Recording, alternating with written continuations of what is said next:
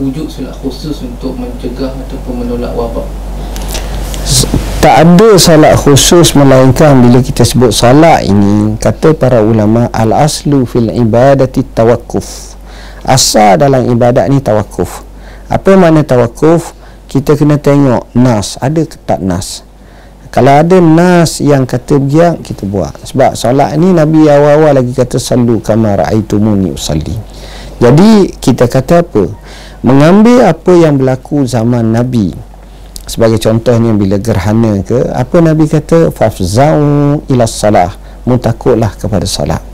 Contohnya apabila nabi menghadapi dalam perang badar nak perang nabi semayang malam dan ini berbetulan dengan nas wasta'inu bis sabri was salah justru kita salatlah hajat dan mohonlah kepada Allah atau apa-apa salat selepas daripada itu kita mohon kepada Allah kita doa dan kita munajat. Itulah caranya